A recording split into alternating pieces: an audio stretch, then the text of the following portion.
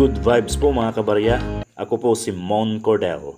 Ako po ay nagbabahagi ng mga lumang barya at sa kasalukuyang barya na binibili ng mga interesadong kolektor sa presyong mababa o di kaya sa presyong mataas. Sa episode na ito, ilan sa mga pera ng Pilipinas ay maaring hindi mo pa nakita o alam na may malaking halaga na pala ito sa mga collectors.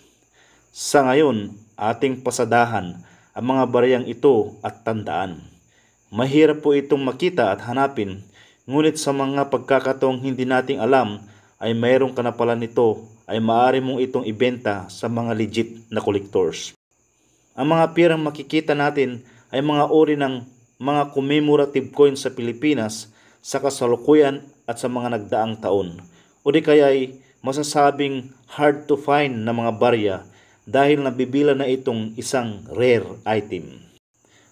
Sa istorya ng presyuhan ng mga barya, may mga barya na rin na nabili na umabot na rin sa milyon ang halaga. At marami na rin barya ang sumadsad din sa daan lang ang halaga. Ngunit malay natin, baka ikaw ang may hawak ng barya na milyon na ang halaga. Ating alamin ang mga baryang ito.